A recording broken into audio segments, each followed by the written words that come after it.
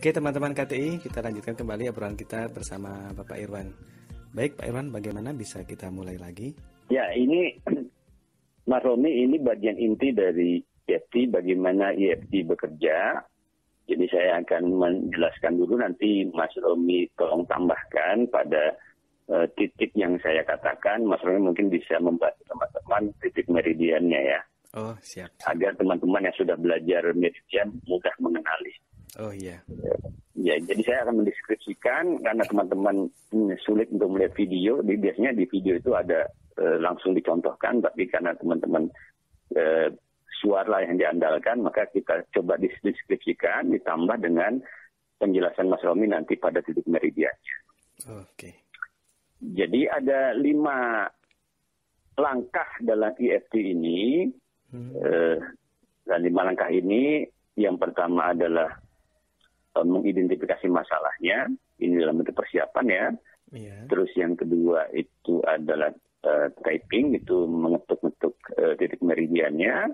Yeah. Uh, sebelum itu jadi sebelum typing itu ada setup dulu. Nomor dua setup dulu, jadi semacam menginstall atau mengenali emosinya tadi. Setelah hmm. diidentifikasi, lalu setup ini mengenali uh, atau menyatakan mengeluarkan emosinya itu dalam bentuk uh, verbal. Hmm, ya, dan yang ketiga ya. baru mengetuk-ngetuk ya.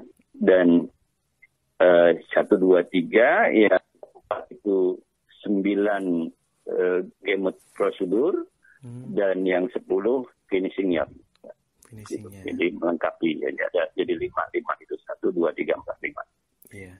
Kita mulai yang mengidentifikasi ya mas Romi ya iya pak jadi uh, mengintimasi masalah ini adalah merumuskan, menyadari masalahnya, Mas Rob.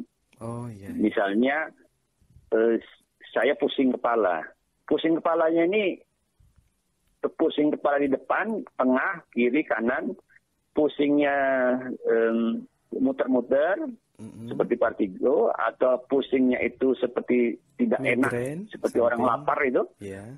gitu, atau pusingnya nyeri cenut cenut cenut gitu itu hmm. dikenali dulu Iya, iya. dikenali dulu diidentifikasi mm-hmm. itu kalau fisik ya yeah. kalau yang mental misalnya tadi seperti uh, kejadian istri saya itu uh, dia takut gelap nah gelap macam apa yang dia dia dia takuti gitu.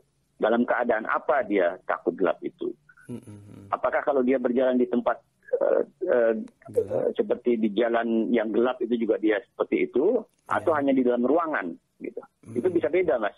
Ketika dia keluar rumah itu seperti dapat nafas padahal juga gelap juga gitu. Iya, mungkin ada angin ya, Pak ya. Jadi itu bisa bisa ber, berbeda gitu masalahnya gitu. Hmm. Jadi dia harus bisa merumuskan dulu.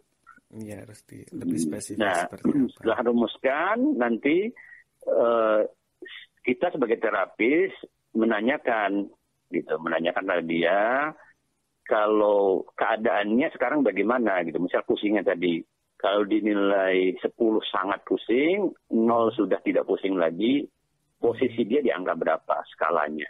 Mm-hmm. Oh, dia bisa mengatakan 8, 9, atau bahkan 10 gitu, udah sangat pusing sekali. Mm-hmm. Nah itu untuk mengetahui nanti pasca penyembuhan tadi. Mm-hmm. gitu. Jadi kita sudah tahu, oh dia tinggal satu, tinggal dua, atau sudah nol. Iya, bisa gitu. mengetahui perubahannya, Pak ya? Iya, bisa mengetahui perubahannya. Hmm. Kalau lebih jauh kan kita nanti ke lab ya. Kalau tetapi eh, dalam hal ini praktis di tempat saja bisa diketahui cara begini. Tanyakan saja perasaannya. Oh iya. Hmm. Ya. Kemudian setelah itu ini sisi yang menarik nanti kita tanyakan adalah sudah berapa lama itu terjadi, pusing-pusingnya itu sudah belum terjadi. Terus kualitas hidup yang anda alami itu karena pusing-pusing itu bagaimana? Wah mengganggu sekali pak, gitu. Mengganggu pekerjaan nah, ya? Ya mau pekerjaan tiba-tiba pusing, apalagi kalau pas mau kencan tiba-tiba pusing kan gagal. ya kan? Iya iya. Uh, Mas Romi diputuskan gara-gara gagal kencan kan. Wah itu pusing tuh keliling itu. nah gitu. Nah terus setelah itu kita tanyakan kalau ini sembuh, maka benefit apa yang Anda akan dapatkan, kenikmatan apa yang bisa Anda peroleh. Ya. Ini untuk memunculkan motivasi. Ya. Hmm. Jadi ini kreativitas dari sang terapis untuk uh, persiapan dia.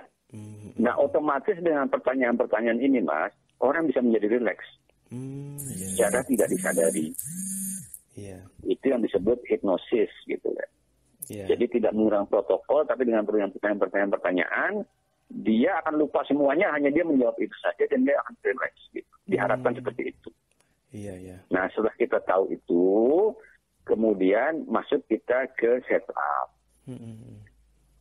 Proses kedua setup. Nah, setup ini adalah ada dua dua hal. Satu dengan menekan source source spot namanya itu ada di dada baik kiri maupun kanan tapi saya sarankan sebelah kiri biar gampang nahan kanannya ya mm-hmm, itu bag, bagian ujung dari di bawah pundak ke arah uh, um, susu yeah. uh, itu bagian yang agak sakit kalau ditekan itu titik apa itu mas kalau di Indonesia Uh, itu titik paru-paru satu pak, itu pak, meridian paru-paru paru-paru satu. satu ya. Iya. Jadi titik titik waspada paru-paru ya. Iya betul sekali. Ya, jadi kita tekan itu dengan dua atau tiga, tiga ibu jari, kita putar searah jarum jam. Hmm, searah jarum jam. Secara lembut, lalu kita mengatakan uh, masalahnya. Hmm. Gitu. Jadi uh, kepala saya pusing, kepala saya pusing kalau misalnya pas pusing tadi ya. Disampaikan dalam hati ya Pak? Diucapkan. Diucapkan. Ucapkan. Jadi diucapkan juga terapisnya juga dengar. Iya. Kalau mereka yang menganut uh, spiritual spiritual emosional belum teknik yeah. biasanya mengucapkannya saya pasrah saya pasrah saya maksudnya pasrah. pasrah terhadap penyakit dan kesembuhannya hmm, yeah. uh, jadi tidak ada masalah keduanya berjalan beriringan silakan saja bagi teman-teman yang menyukai yang mana begitu. Iya iya. Uh, kalau orangnya uh, agak spiritual kita ajak ke spiritual, kalau orangnya biasa-biasa saja kita ajak yang uh, sudah di uh, di hipno saja, di EFT saja. Iya. Jadi hmm, biar yang dia rasakan apa perasaannya pusing, jadi ya uh, saya merasa pusing kepala, saya merasa pusing kepala, pusing kepala, pusing kepala gitu. Hmm. Nah, itu tiga kali. Tiga kali putaran, Pak? Tiga kali putaran. Jadi lengkapnya begini. Nanti di, di, di dokumen yang akan dikirimkan Mas uh, Romi kepada teman-teman itu, itu ada uh, setupnya. Jadi kita dia mengatakan begini uh, versi lengkapnya. Walaupun saya pusing kepala, yeah. bisa ditambahin karena titik-titik ya. Yeah saya menerima diri saya sepenuhnya dan saya memutuskan mengizinkan diri saya untuk melepaskan perasaan ini sekarang dan sekaligus demi kemajuan hidup saya. Hmm, gitu Kalau ya. belum pasiennya belum hafal kita tuntun. Oh, iya, Jadi iya. teman-teman ya teman-teman menghafal saja.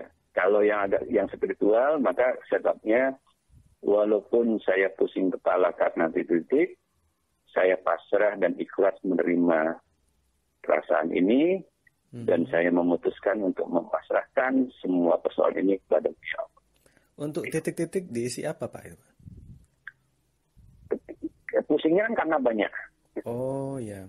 Berarti gitu. tadi tergantung penyebabnya. Ya, pusing karena tidak bisa memenuhi permintaan pacar, pusing karena gitu. Jadi eh, kalau semakin dia bisa mengungkapkan pusing itu kenapa semakin baik. Hmm, iya iya Pak. Tapi kalau nggak mengerti ya sudah pusing pusingnya dijelaskan gitu. Lama-lama lama-lama kita ini belajar jadi dokter cinta ini pak kayaknya pak. ya dalam kehidupan kayak nanti akan banyak demikian mas ada begitu. Ya pasien kadang-kadang juga persoalan hmm. rumah tangga, persoalan oh, iya, sekali ya, curhat pak ya. Nah, nah saya saya terus terang sudah menjadi mentor untuk beberapa teman yang mencari jodoh itu. Oh begitu, wow. Ya. Bisa jadi referensi nah, ini. jadi eh, itu setupnya dia menyatakan begitu sambil menekan sospot tadi dia mengatakan uh, walaupun saya pusing tetap mencintai diri saya sepenuhnya. Hmm, yeah. Dan melepaskan semua permasalahan ini uh, untuk kemajuan hidup saya. Hmm. Jadi nanti kata-katanya bisa diikuti di di diktat itu dan um, bisa dimodifikasi juga hmm. tergantung teman-teman enaknya bagaimana. Yeah. Intinya adalah mem, apa ya memperbalkan masalah itu muncul ke permukaan. Hmm, yeah, yeah. Nah, tahap ketiga yaitu tapping. Nah, jadi tahap tiga ini mengetuk ya, mengetuk. Nah, hmm. mengetuk ini dibarengi dengan tune in. Uh, tune in ini adalah menyatakan masalahnya atau memasrahkan masalahnya. Yeah. Jadi saya bilang tadi boleh kedua-duanya. Ada 14 titik ya, 14 titik yang akan kita ketuk. Mm-hmm. Yang pertama adalah di bagian dalam alis mata kiri dan kanan. Oh. Itu meridiannya titik apa, Mas? Kandung kemih kedua itu, Pak. Kandung kemih kedua ya, kita ketuk dengan dua atau tiga ibu jari. Yeah. Boleh mata kiri, boleh mata kanan. Saya biasa menggunakan mata kanan. Oh, Jadi salah satu boleh, dua sekaligus boleh ya, Pak? Boleh, boleh. Jadi kanan boleh, jadi nggak ada masalah. Uh, yang kanan itu kita ketuk di kandung kemih berapa tadi? Kandung kemih dua, Pak. Kata dua ya, kata dua kita ketuk uh, antara lima tujuh kali. Kalau kalau bisa sih nggak usah dihitung. Hmm. Jadi uh, feeling saja itu lima tujuh, boleh lebih juga boleh. Oh, iya. Jadi hmm, kepala saya pusing, saya merasa kepala saya pusing boleh gitu atau saya pasrah dan ikhlas menerima pusing kepala boleh juga. Hmm. Lalu titik yang kedua di sudut kanan mata di bagian tulang itu, tulang sudut mata. Jangan sampai ke mata ya nanti colok ya. Itu meridian berapa mas? Meridian kandung empedu satu pak itu pak. KI satu ya, ya KI satu di situ ditekan lima tujuh kali juga dengan ucapan yang sama. Yang ketiga di bawah mata di bagian tonjolan tulang. Ya, yang tadi itu lambung keenam, Pak. Lambung keenam. Ya. Oke. Yang keempat di bawah hidung, di atas bibir, di bagian lekukan itu, Mas. Ya, di situ pembuluh gubernur 26, Pak. Gubernur 26. Iya. Yang kelima di bawah bibir, di dagu. Itu pembuluh conception 24, Pak, titik terakhir itu. Conception 24 ya. Iya. Lalu yang keenam itu di bawah di, bertemunya tulang selangka, yeah. tapi di bawah di bawah yang tulang menonjol itu antara tulang selangka dengan tulang rusuk satu ya. Iya, yang dekat dengan tulang itu, dada ya, Pak ya. Tulang iya di tulang dada di tengah-tengah di tengah-tengah pertemuan tulang selangka itu. Ginjal 27, Pak. Ginjal 27. Yeah. Ginjal 27. Lalu di bawah lengan, di bawah ketiak, Kira-kira iya. empat jari kalau kita masukkan jari kita dari telunjuk ke kelingking, di pas di kelingking. Kalau di pria sejajar dengan uh, puting susu, kalau yeah. wanita di tengah-tengah tali bra. Itu di titik apa itu mas? Titik limpa 21 pak itu pak. Limpa 21 ya? Iya. Limpa 21 apa pankreas itu mas? Lien, lien pankreas, dua organ itu Pak, satu meridian. Oh, limpa dan pankreas. Iya, limpa dan pankreas itu satu meridian. Oke ya. Jadi di situ limpa 21 ya. Iya. Kemudian yang selanjutnya adalah di perbatasan antara telapak tangan udah ke bawah nih Mas. Udah oh, di, di lagi tangan. masuk ke tangan ya. Jadi di uh, garis antara tangan dan telapak tangan bagian dalam itu apa? Jadi apa? Dilipat pergelangan tangan, Pak ya. Iya. Kalau yang bagian depan itu sampul jantung ketujuh, Pak. Simpul jantung. Ya, sampul jantung ketujuh. Sampul jantung ketujuh. Tujuh. Kalau yang atas? Kalau yang belakangnya itu tri pemanas keempat. Ini biasanya saya ngetuknya dengan bukan dengan ujung jari tapi dengan jarinya sendiri gitu. Jadi saya mengetuk itu dengan dan jarinya ter, ketiga tertidur begitu. Hmm. Lalu di, di, di, di, diketukkan di situ. Hmm. Lalu setelah dua itu selanjutnya adalah di ibu jari kiri, Iya. bagian luar, Ibu bagian jari. luar. Itu Jadi yang titik mengarah keluar ya, di ujungnya, di ujung eh, kuku ibu jari yang mengarah keluar. paru-paru ke 11, Pak. Paru-paru sebelas. Iya. Oke. Kemudian selanjutnya eh, telunjuk juga di ujung jari yang bagian ke arah eh, ibu jari, Oh ya, itu titik usus besar satu. UB1. Ya, UB1. Oke. Kemudian jari tengah juga sama di bagian eh, kuku ujung kuku, Iya. bagian yang menghadap ibu jari. Iya. Itu titik apa namanya? Titik sampul jantung 9, Pak. Ya. Kemudian loncat teman-teman ke eh, jari kelingking. Jari kelingking. Ya, itu yang menghadap ke ibu jari, bagian kukunya, Ini jantung 9, Pak. jantung sembilan. Iya. Kemudian di karate chop. Kalau kita mengkarate sesuatu, kayu atau apa dengan karate itu ada di situ di di di karate chop itu di ya, Yang bagian ini ya, me- medial telapak tangan ini, Pak. iya betul. Itu ada dua titik, Pak. Usus halus 3 dan usus halus 4 ada titiknya. Iya, supaya dua-duanya kena, biasanya saya meng- mene- meng- menekannya dengan cara mengadu antara tangan kiri dan tangan kanan. Hmm, begitu. Jadi mengkarate antara tangan kiri dan kanan, tapi dua-duanya kena.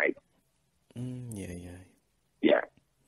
Jadi itu teman-teman, eh, saya ulangi lagi ya. Jadi mulai dari eh, alis bagian dalam, kemudian ujung mata bagian kanan luar, di bawah mata, di bawah hidung, di Iya. bawah bibir, lalu di bawah tulang pelangka, di bawah lengan atau ketiak, Hmm. di eh, pergelangan tangan bagian depan dan bagian belakang, kemudian di ujung kuku luar ibu jari, telunjuk, jari tengah, kelingking, dan karate chop. Jadi Iya. ada 14. Walaupun nanti di teman-teman kalau melihat buku-buku lain, ada beberapa titik lain yang tidak disebutkan, misalnya di atas kepala, di bawah puting susu, atau di jari manis juga ada beberapa buku yang menyatakan demikian. Tapi kita pakai 14 ini saja. Iya, iya, iya. Nah, kemudian setelah di typing gitu, diketuk begitu, selesai, Iya. prosedur selanjutnya adalah hmm, kita menekan eh, namanya ge- gemut. Jadi titik gemut ini eh, di punggung tangan, mas, punggung tangan Iya. antara eh, sejajar dengan jari kelingking dan jari manis itu di tengah-tengahnya. Titik apa itu, mas? Meridian. Yang di bagian punggung tangan itu ada di sudut tulang namanya titik tri pemanas 3, Pak. Titik pemanas tiga. Iya. Nah, titik itu kita ketuk, kita ketuk sambil melakukan sembilan eh, kegiatan atau sembilan prosedur. Hmm. Yang pertama sembari mengetuk Iya. itu kita menutup mata Iya. dengan keras ya pertama. Kedua membuka mata dengan keras. Iya. Ketiga melirik ke kanan bawah. Hmm. Keempat melirik ke kiri bawah. Hmm. Kelima, memutar bola mata searah jarum jam. Iya. Ketujuh, eh, keenam, memutar bola mata Berlawanan. berlawanan arah jarum jam. Iya. Kemudian ketujuh, bergumam. Biasanya contohnya kalau di eh, Pak Adi mencontohkan happy birthday.